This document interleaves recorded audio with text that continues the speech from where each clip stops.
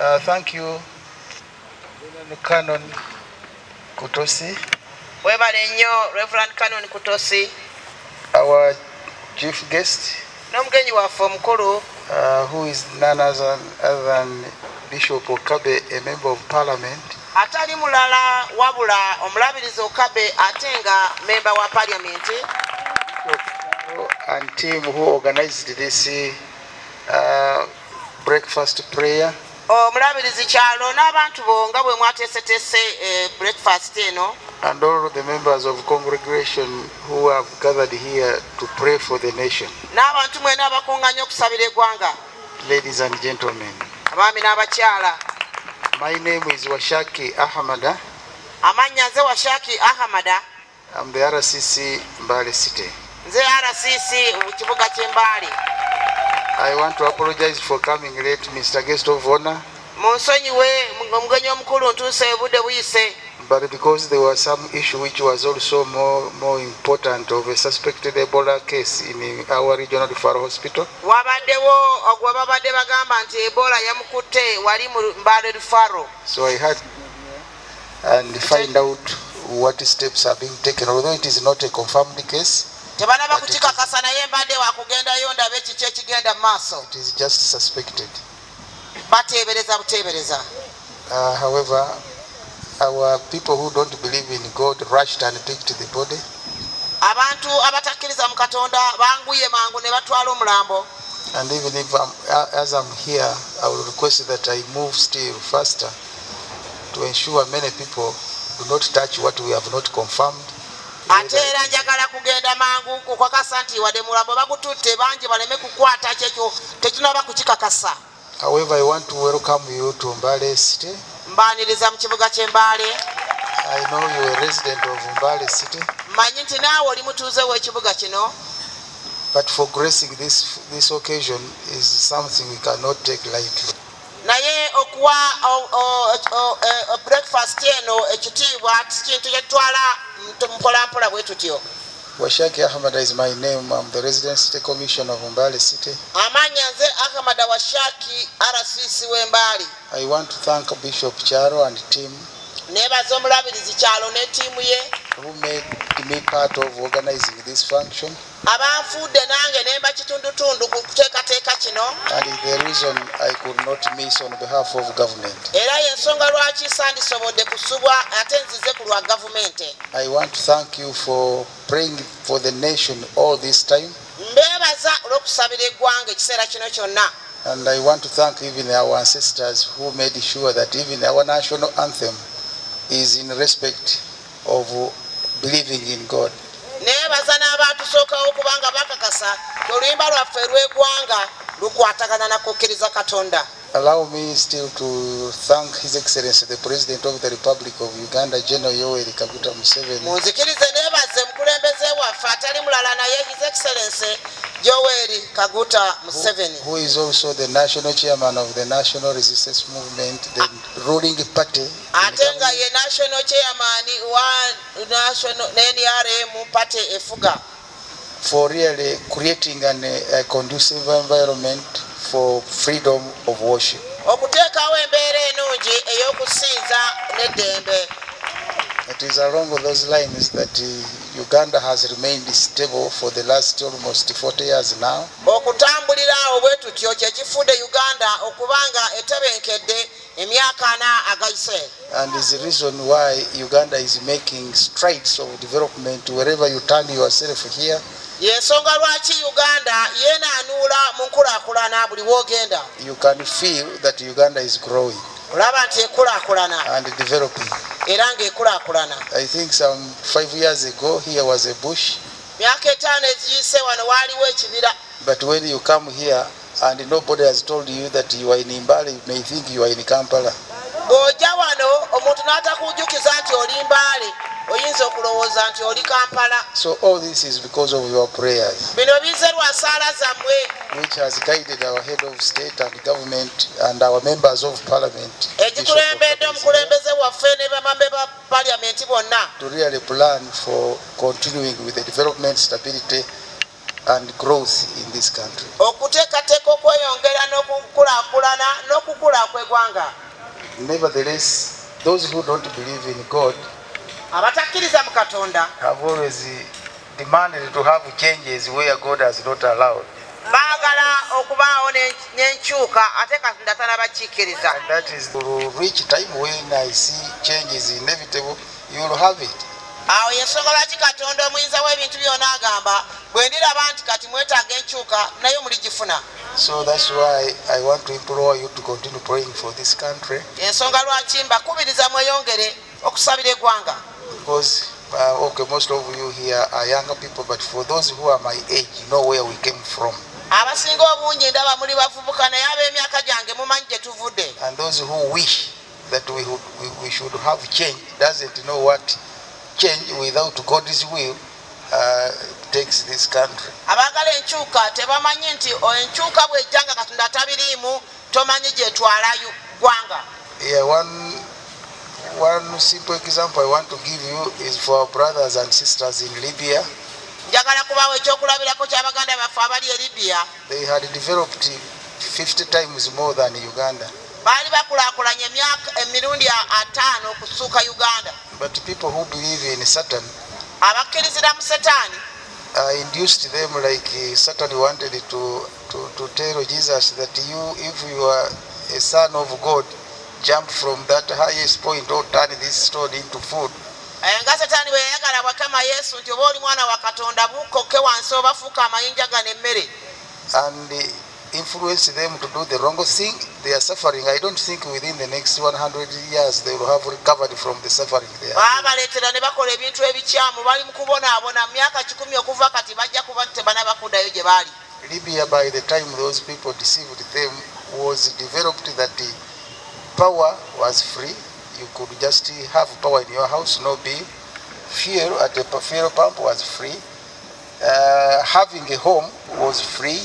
Ebiseera ebyo libya yali yakulaakulana nga amasanyalaze ga bwereere amafuta ku petrol station ga bwereere n'amaka mwatu nga bakuzimbira. And even when you didn't have a job, you were assured of a salary every month. ne bw'otaalinanga mulimo bakuwanga omusaala buli mwezi. But people who forced Libya to have change without the will of God abaleetera libya okufuna enkyuka nga temuli kwagala kwa katonda. plundered it into a suffering they will never recover. I think within my lifetime I will not see them recover. baagitwala mu kubonaabonako batagenda kuvaayo mpozi balivaayo nga nze nvuddewo ku nsi Today, Libya, which was developed, their people were aware of Now, ask to risk getting on the ship in excess numbers, which causes the ship to drown. kakati bayingira e- ameri atenga ameeri ate nga bangi ba- basuusa mu kye- kyerina okusitula ne bamaliriza nga babbidde. Gracing just to go and wash children nappies in Europe. bagende booze nappi z'abaana e bungereza e bulaaya. Women and the men underpants in Europe, akwoza obuwale obw'omunda bw'abaami n'abakyala e bulaaya. Uh, utensils rotten okwoza ebintu ebi- ebi- eby'omu nnyumba ebivunze for them just to get food. bo bafune ekyokulya It's because they did not believe in the Almighty Allah, kubanga tebakkiriza mu katonda. but they were overpowered by Satan bawangulwa setaani and took a decision ne batwala ekyokusalawo. which is haunting them for life. ekiri kubatulugunya lunaku- e- obulamu bwabwe bwonna. So through the guest of honor buyita mu mugenyi omukulu? And on behalf of His Excellency the President of the Republic of Uganda, ne ku lw'omukulembeze w'eggwanga lyaffe. I want us to continue praying for the country that it will get any change through the will of the Almighty. tusabirenga eggwanga lifune okukyuka okuyita katonda mwennyini nga yagireese. That we shall remain stable like we are and then the tusigale butebenkevu nga bwe tuli eggwanga lyeyongera okulakulana. Uh, we want to thank you. You prayed for this city mbabaza mwasabira ekibuga and this and the region as a whole. Ne sitaani yonna when we suffered from a drastic disaster which hit our city. Bwe twali mu kiseera kiri ekyamataba agakuba kibuga kyaffe. Uh, for you religious leaders b'eddiini. you know that all our holy books teaches us to respect the environment. Mumanyi nti ebitabo byaffe byonna bitugigiriza okussaamu ekitiibwa obutonde. That's why even when god created the first man ensonga lwaki katonda bwe yatonda omuntu eyasooka? he put him in a conducive environment. Yamuteeka mu kifo ekirungi. And he enjoyed life, although along the way again Satan uh, deceived him and committed sins which we are also yanyumirwa obulamu kutuusa satani bwe yamulimba n'akola ekibi. But that should be a signal to make you accept the government policy now and uh, and appeal that we should protect our natural resources. kaakati and ako kabeere environment. akabonero akakuleetera gwe okuttamu ekitiibwa obutonde nga gavumenti bwegamba Because the, the disaster we suffered was because of human error. ebyo ebyatukuba byava mu kukola kw'abantu bye bakola ebitaali bituufu For me, when I grew up in Bugisu here, wenakulira ebugisu wano you could not approach a river tiwategete- nga tosobola genda ku mugga and see water with your naked eyes, n'olaba amazzi except if you have uh, you have put aside, you have you have, you have pushed through the, the, the, the grass, ojjako ng'oyita mu muddo ogwo ogusi- gubiisa amazzi is when you would see water. bwewalabanga amazzi And that water was ever clean, like you see that water ate amazzi ago galinga swimming pool. mayonjo nga bwolaba gali agali wali Why? Because the, the, the, the landscape, the environment was intact. Kubanga obutonde bwali tebutataganyizwa But when it rains here like now, kati enkuba bwetonya kati there is no soil which can erode and go to the river. tewaliiwo kisobola kuva wano ng'ettaka nekigenda mu mugga But when we began uh, disobeying the law of nature put in place by the Almighty God, bwe twatandika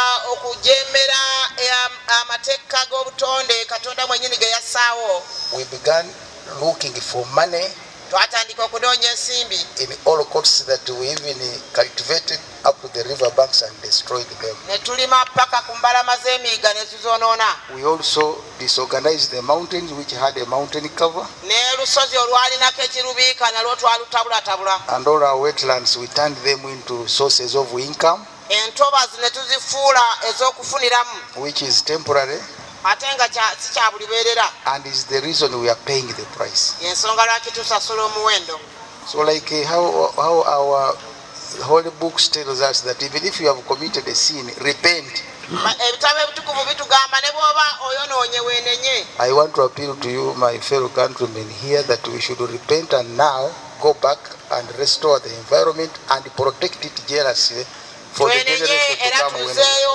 ebintu nga bwe byali era tubikuume n'obujja government is willing to ensure that if you build in a wetland or in a, near the rivers or in the mountains where there are disaster risks, it is willing to give you, I think, my honorable member of parliament, they have passed a, a law or a policy to ensure those vacating those areas are going to be supported. abantu abaali bazimbye mu ntobazi gavumenti egenda bawagira kubawanirira baveewo ndowooza babazimbire awalala That's why as a city, we don't now allow anybody to cultivate in the wetland or to construct in the wetland. Kati- If you do so, we shall stop you. The only person we are looking at until we harvest what you planted long time ago, harvest it, move away, don't return to that place. ekyo kyewasimba abantu bonna kati mu kibuga tetusobola kukkiriza kulima mu ntobazi oba kuzimbamu wabula gwe wasimba ebintu byo nga bwebiri bijeemu okomaawo. Uh, lastly, kisembayo I want to thank you for praying for us and I want to request you that you continue praying for us. Mbeebaza olw'okutusabira ate era mbasaba nti mweyongere okutusabira. Because moral decay has come with the sad bad, bad, bad, bad, bad effects.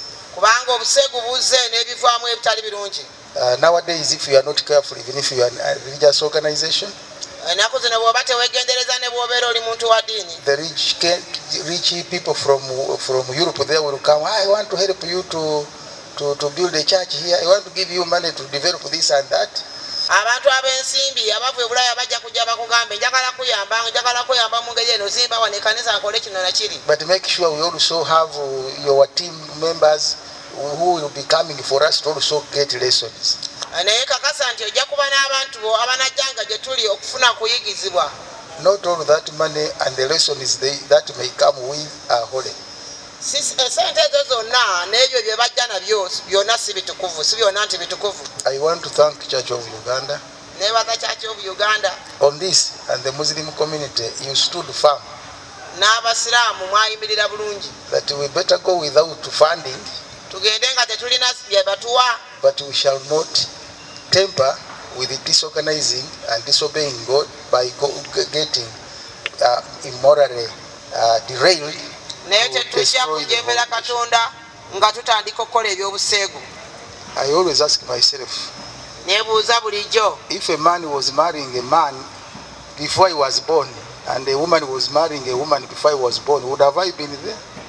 Singa omusajja yawasa musajja munne n'omukazi bw'atyo nga nze sinaba kuzaalibwa naawe wandibaddewo And I don't think those people there also would be there, these ones who are trying to derail us. abaagala okutuwabya nabo tebandibaddewo So let's say no.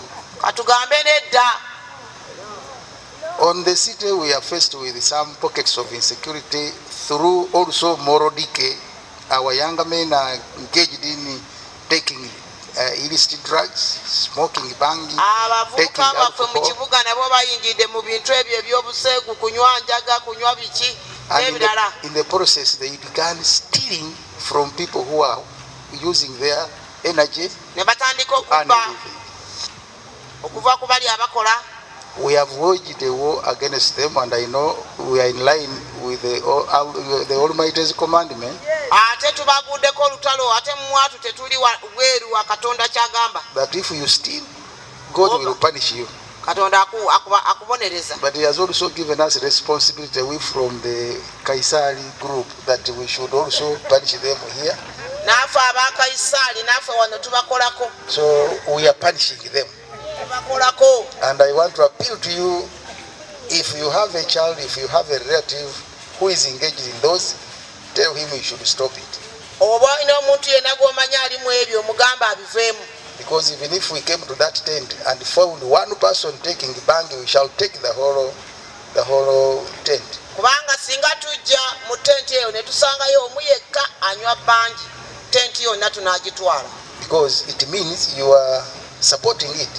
kitegeeza nti naawe owagira When you also go back, you are part of it. So until you explain yourself, we shall be disorganizing you. Eh, tujja kuba paliamenti eri omugenyi waffe omukulu The only continent remained with the life is Africa. Eh, semazinga ekyalimu obulamu bagiyita afirika The rest are living just on risks all through. ezisigadde zonna ziri ku kabyenje bukatyabaga Actually, when you see the disaster which struck them, this one of ours is not a disaster even. bw'olaba ebyabakubabo eyaffe wano. If it is flood, the, the, the whole cities, the whole country floods and people die. bonna ekibuga kyonna kiba mataba abantu ne bafa But they are developed.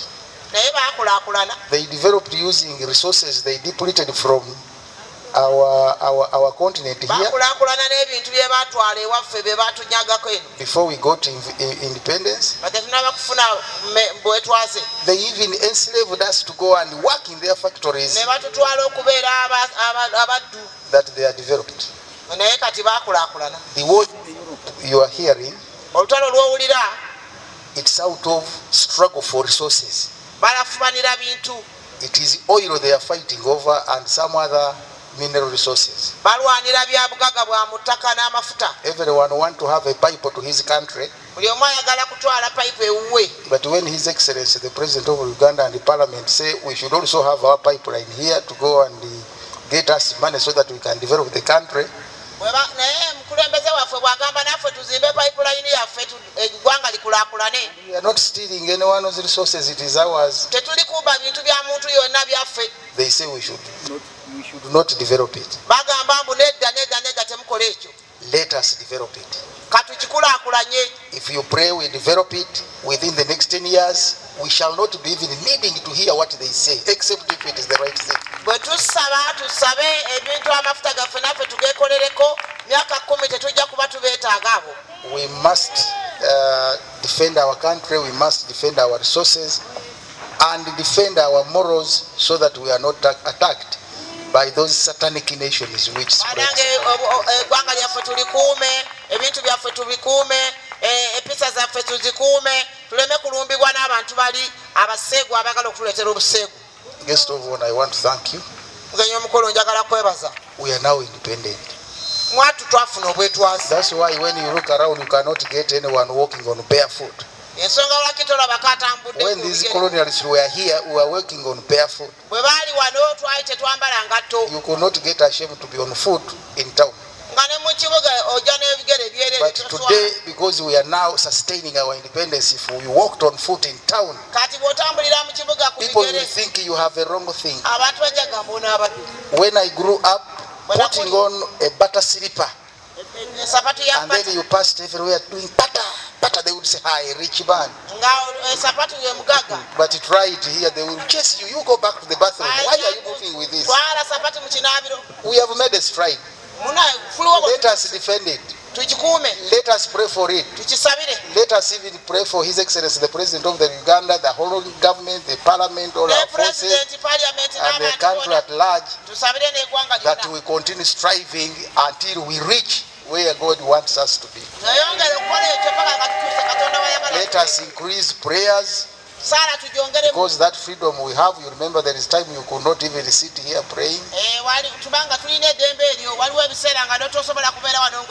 All those are indicators of, of development and also being independent.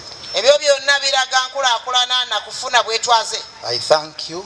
and I wish you A good independence celebration tomorrow. I've said all this for God and my country. Thank you for listening.